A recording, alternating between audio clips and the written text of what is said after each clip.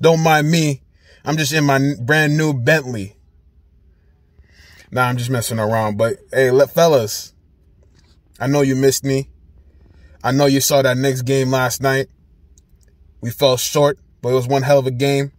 I see Trae Young talking his trash, talking his ish. Congratulations, Ice Trae. You got your victory. You got your first ever playoff victory in the Garden. But let me tell you something.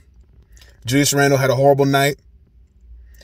Offensively, we were a little gun shy, especially the last three minutes. We were passing around. Guys were afraid to take the shot. Only Derrick Rose was the guy who was really, who really wanted to take the shot, who really wanted the moment. I'm gonna let you get game one, Atlanta, but don't get it twisted. My boys are back. My boys are better. And this is gonna be Knicks and six. We'll see you on Wednesday. But for all the updates, for all the people who wanted to update, you got to update right here, baby. All you doubted, you doubted me. You didn't believe in the playoffs. You didn't believe, you didn't believe we had what it took. I've been saying it since October that this was a playoff team. You didn't believe me.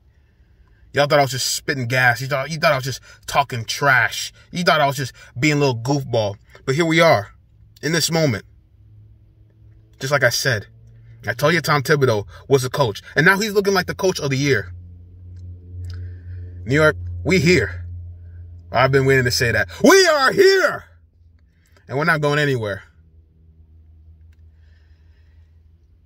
And for the next person who doubts me and doubts what I have to say, understand. Go through my catalog of videos and understand everything I said has come true, has come to fruition. But game one was a fun game. I love the atmosphere.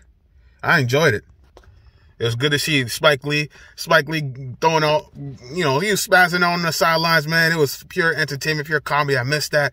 The garden was loud. I loved it. I was loud out the out the crib. It, I, it almost brought a tear to my eye if I had a soul. But you know, I'm just very happy, very happy to see playoff basketball again for the Knicks. And game one, we'll give you game one, but game two, I promise you, gonna be a different story. Gonna be a different story. Now let me hop out this coupe. I got I got something to handle. But understand this, game two on Wednesday, gonna be a different story. I'll see you then.